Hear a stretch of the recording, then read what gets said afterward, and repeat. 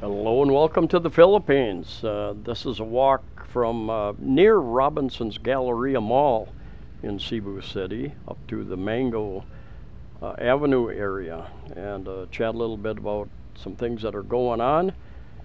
Uh, first of all, uh, boy, this past week or two have been extremely, extremely busy for me.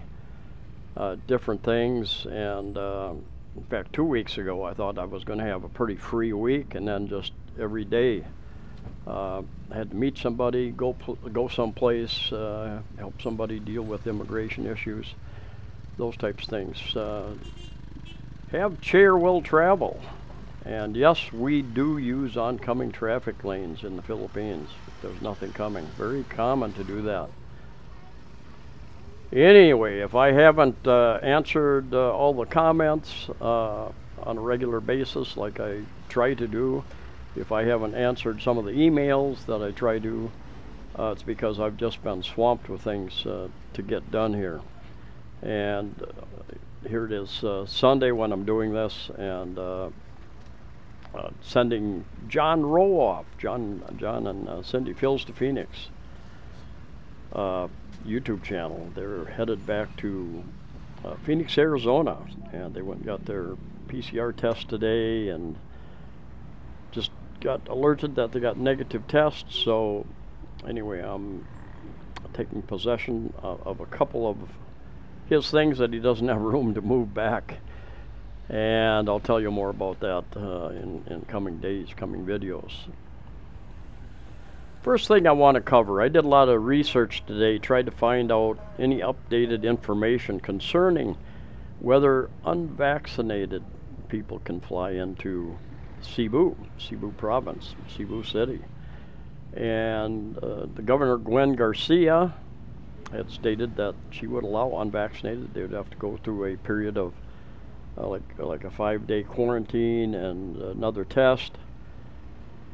Um, and I haven't heard anything to the contrary. Um, I looked on Philippines Airlines, PAL's website, and they have some information about uh, travel requirements and restrictions, and they do have a listing uh, for unvaccinated.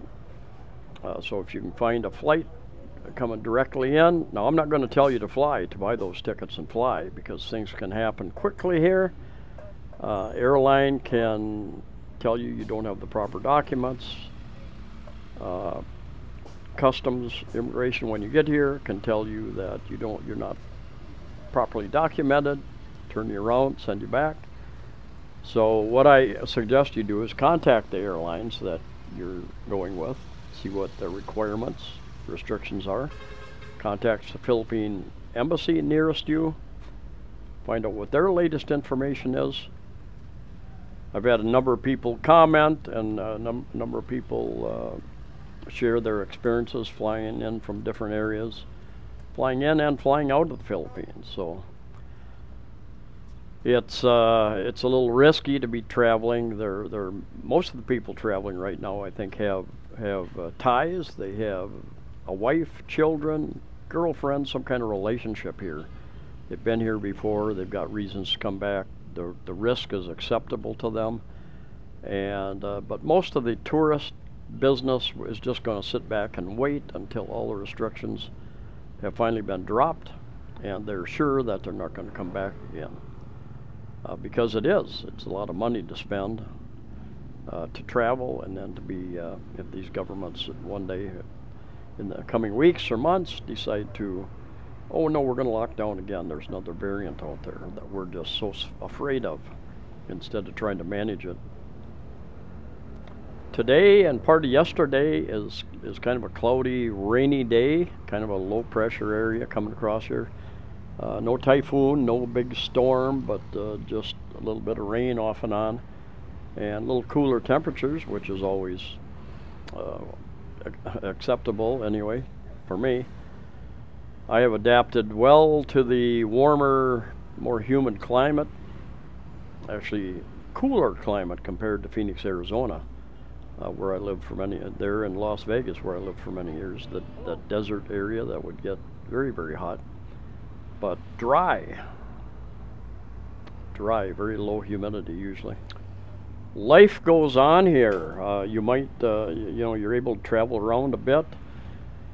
Uh, if you're traveling into interzonal, interzonal, where you're crossing into other islands and stuff, each each uh, island might have different requirements and restrictions.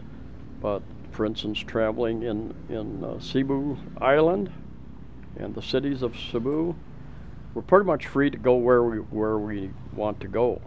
Just get on get on a bus, take a taxi, uh, whatever, and go. Rent a motorbike and go. The malls and virtually everybody else have stopped asking for quarantine passes, quarantine certificates, what have you. Uh, not not quarantine certificates, vaccine certificates uh, showing that you're vaccinated. For a while, they were discriminating and saying only, uh, and, and, and it had nothing to do with the science because both both vaccinated, unvaccinated can can get get the virus transmitted just as easily. Had to do with trying to force people uh, to get vaccinated, and anyway. Um, pretty much for the last two or three weeks, even though some places still have signs up, we serve vaccinated only. The fact, real life on the street is those businesses need everybody's business. And uh, nobody, I haven't had anybody ask. I was at the Bai Hotel a few days ago for a buffet dinner in the evening, and they, they did ask for uh, certain documentation. Um, but there again, not. Uh, and then you had to wear you had to wear gloves. You had to wear these plastic gloves that they dispensed out to you to go around and get your food on the buffet, which was kind of odd, but that's what it was. Next week, the middle of uh, March, uh, on December 16th, Super Typhoon um, Odette, international name Rai, came through the, the Visayas and part of Mindanao. Did some horrific damage, uh, did some major damage. I've done a number of videos there. And uh, for instance, our electricity was out for, I think, a couple of uh, couple of weeks at least. Got a generator where I, where I live, but they ran out of fuel, and then their generator they said was old and was not operating properly. It would come on a couple hours a day. Um, we we got by. We had you know having water, water to drink, water to wash, uh, were important. So I had stocked up on those sorts of things. And uh, anyway, not 100%, but getting close to that in the city, I think. Uh, Mandaue City, the Tri Cities. Uh, there is a Olango Island, which is just very close to, to Mactan Island, that uh, I think they have very little electricity over there yet, and they're, this month they're going to get that set up. Uh-huh. What do you, uh, how, how much do you, are, are you hauling freight? No, I'm, I'm, I'm just sitting here. Oh, resting. I'm resting. All right, Very hot. all right. Is this your wife? No, no, that, that's my friend. Oh, okay. Are you vlogging? Yeah, yeah, Oh, hey, hello. yeah. Hey. all right. Hey, no, thank you. I have read that uh, many of the, uh, some of the tourist places like Oslob, where there's whale watching, uh, Pescador Island, which is a diving area off of Boal, over on the west side of uh, Cebu, are open back to uh, tourists, foreign or otherwise, or domestic. And so electric is coming back, and uh, tourist places are opening up specifically for each and every resort that, uh, that was damaged during the typhoon. You just really need to get online and inquire about those types of situations uh, because it is uh, it's not 100% across the islands that are opened up here even three months after the uh, huge typhoon.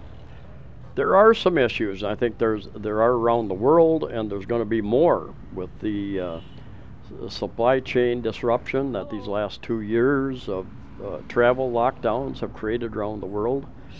uh, the businesses that were shut down. Uh, there are there are a number of things that more and more things that are out of stock here that uh, just regular over-the-counter pharmacy type thing things that I used to be able to find very easily here uh, out of stock sir out of stock sir I have no idea when we'll get those items back in.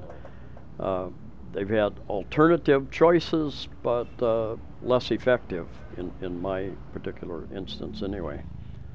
And uh, seeing a lot more taxis a lot more taxis out here on the road so they're getting a little busier, which is nice. Rainy day like today, especially during rush hour, and this this was rush hour as a matter of fact. Um, they're a little higher demand, but still there's a lot more taxis than there are passengers in most cases. I don't have any trouble finding a taxi any given time. Cebu province, as well as a number of other provinces, are still on risk level two. Uh, there are a few areas on risk level three. I think NCR, the National Capital Region, region around uh, Metro Manila, is on uh, level one, the lowest level, and uh, more things opened up, less requirements. Um, hopefully, and they, they do this every two weeks. They go from the 1st to the 15th. So the 15th, uh, we should get a new risk level. Where everybody's hoping it'll drop down to one, but uh, they may punish the people and uh, continue level two for a while. But the fact of the matter is, life goes on. People are trying to survive out there, do whatever they can to survive.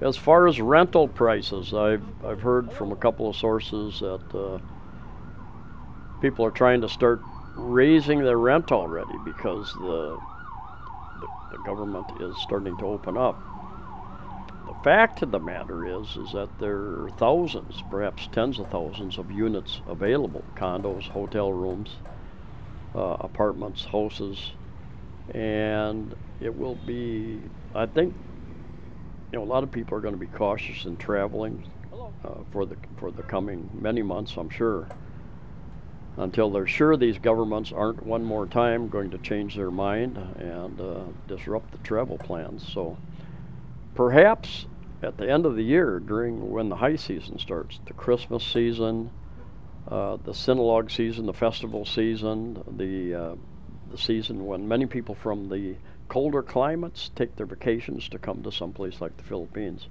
It'll be late next year, late this year, into next year before things start getting really back to normal tourist-wise, I think. Anyway, thanks for watching. Stay safe, stay healthy, and hopefully we'll see you all here soon.